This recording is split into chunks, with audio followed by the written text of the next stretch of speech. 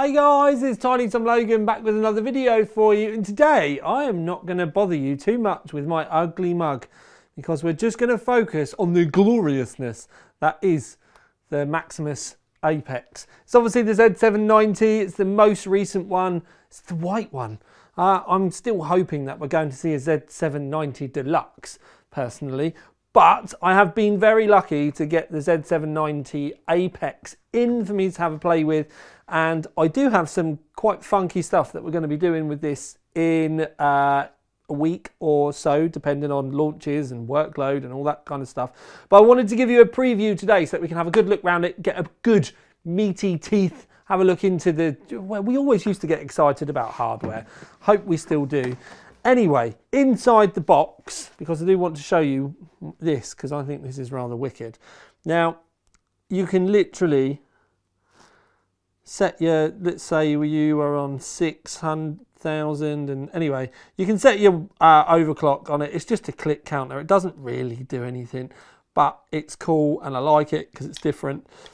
And you could hang it, you could wear it like Flavor Flav, like a necklace. There are some crazy uh, memes of me looking like Flavor Flav online.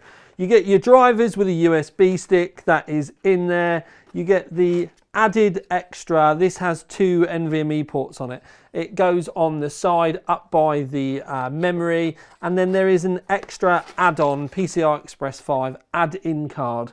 Should you want to use it? Not sure that you would for overclocking uh, because if you do add this in either you've not got a graphics card in or if you do run both slots then makes the both the slots run at eight times now I've not done any uh, testing to see whether turning the PCI Express 5 down to 8 times makes any difference yet. But then we haven't got any PCI Express 5 hard drives yet either. So uh, it's a bit of a mixed bag in not knowing basically. Now, what do we have to talk about today?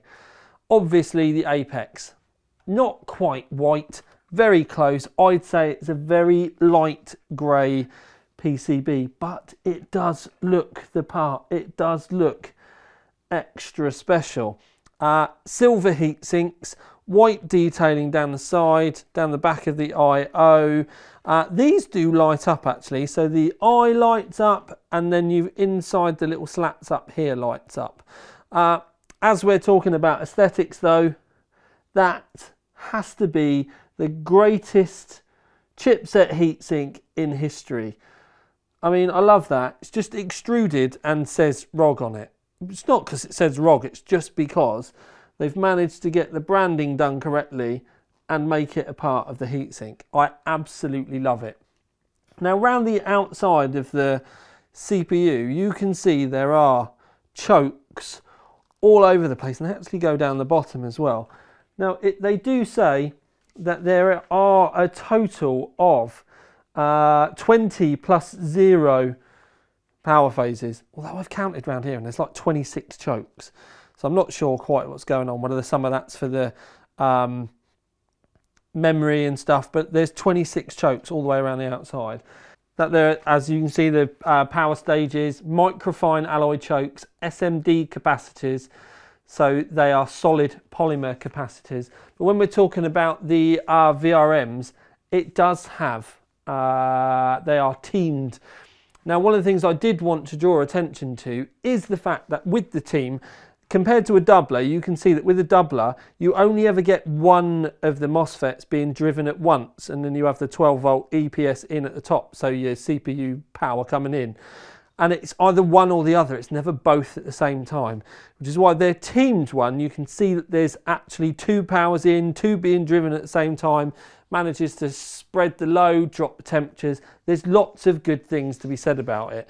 Uh, and when they first started doing this, a lot of people were kind of against it, but I've never personally seen an issue with the way Asus have done it and the temperature difference between the VRMs on Asus boards and competition is rather nuts, if I'm completely honest. Now, we will have a good look around the board together. So, I'm going to go very slowly round the outside so that you can have a look. Now, there's a full speed fan header.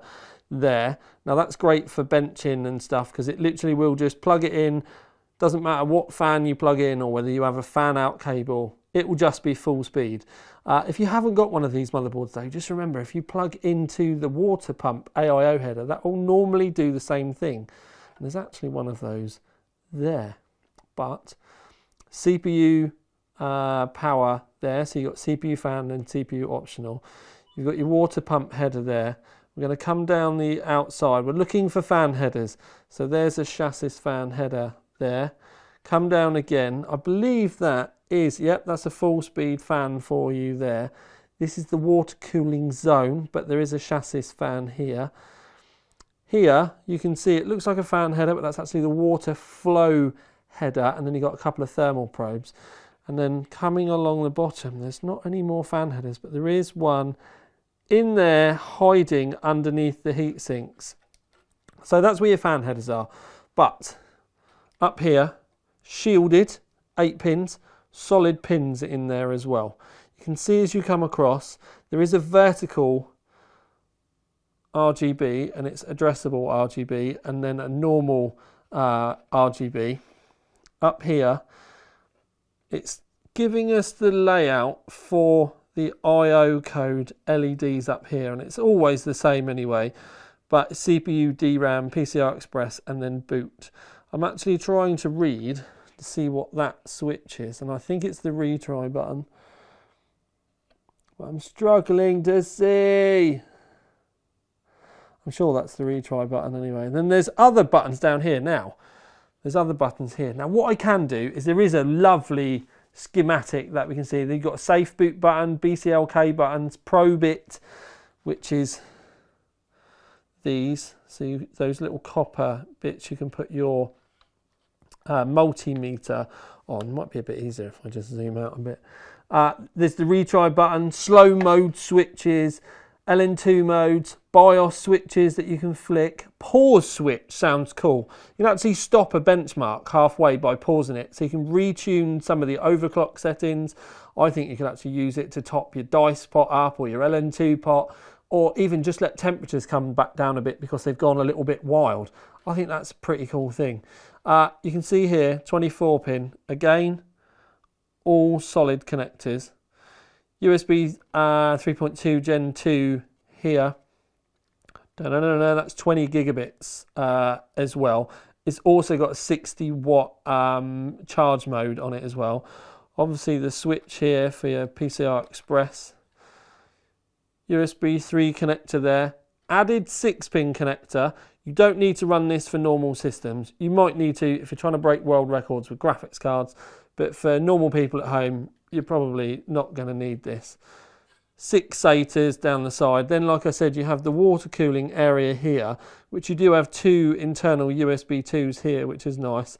There's the BIOS switch that we spoke about before. Uh, more water cooling here because obviously, like I said, that is your uh, thermal probes and then your water pump header. Another USB 3 here. Coming along, more RGB, if you did use this as a gaming rig, it's one 4 pin and then two, another one which is addressable. Now the Supreme FX that's over here, audio on this, it's got a Savitech SV3H712 amplifier on it. You've got it's run off of the ALC 4080 codec. Uh, and that uses a USB interface rather than the normal HDA interface. Uh, and it's 32 bit with 384 kilohertz of uh, audio resolution.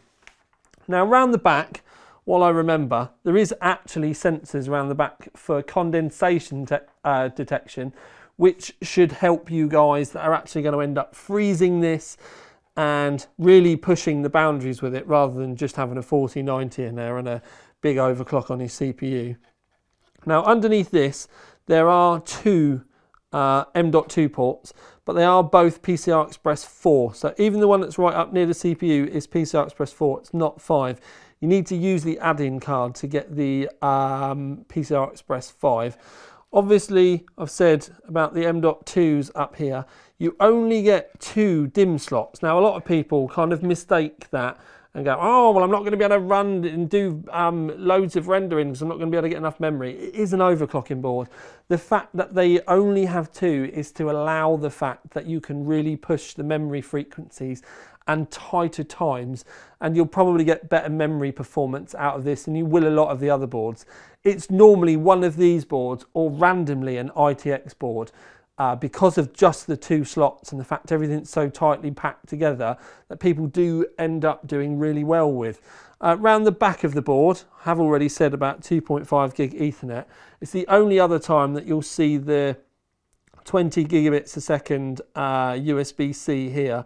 Although this one I have, when I looked at uh, the data online, because I've not been able to get anything from ASUS directly about this, it didn't say about 60 watt charge on this. It was only this one that was meant to have had the 60 watt charge. Uh, so a plethora of connections around the back, including normal gold plated audio connections, but Wi-Fi 6E, 2.5 gig Ethernet, your BIOS uh, port, which if you are overclocking, you're probably going to end up using this a lot for your BIOS flashback up here. Uh, and then PS2 ports. Again, I can see it in the comments already. Why have they got really old connectors? Lots of the overclockers still use PS2, PS2 keyboards and mice to keep things simple, and you haven't got to worry uh, about things not being um, like USBs not starting up properly and all of that sort of stuff. It's just a case of keeping it simple. Um, so you might think it's old, but if it works, if it's not broke, why fix it? Now, it's obviously a beautiful looking board with a heck of a price tag. But we will see whether that price tag is warranted when we do do the full review. Now, I have got some funky stuff planned for this, in that it's not going to get a normal kind of review from me. We're going to do the same sort of benchmarks, but I'm going to do a lot more stuff with it. Uh, I've got some really meaty memory, currently sat on some 7000 megahertz memory, but probably have some 7200 megahertz memory coming and we are really going to be trying to push the overclock on the CPU as well. So I've been talking to EK and I've got stuff here from EK. So we are not going to do it the normal way, but it is going to mean that we're just going to overclock things as far as I possibly can do without frying my processor because obviously I need to use the processor for other reviews. Uh, I'm going to push things as far as I can comfortably and then we're going to review it in that sense. Sadly, I don't have the time or the ability anymore to dry ice or LN2. I've only ever really dry iced once. Um, although the 990X from Intel, I did manage to get that to 6 gigahertz many years ago. Uh, and some of the screenshots and stuff are still online, which is kind of cool. But we are going to have a good old play with this and really try to stretch its legs more than I would do in a normal review. But thank you for tuning into the preview. Yes, it has been very quick and short and sharp, but it's because I just wanted to share the fact that I have one of these, share what the technology is on the board, the layout, so that you can get a good feel for it. And then we will be back fairly soon with a full review for you. Please remember to like, subscribe, and comment. This has been the tiniest one. Uh, if you are one of the regulars, then today, I think we had churros the other day, didn't we? Damn it, means we're going to have to have donuts today. So let me know what donuts you're eating in the comments underneath. Thank you very much for tuning in. This is Tiny Tom Logan.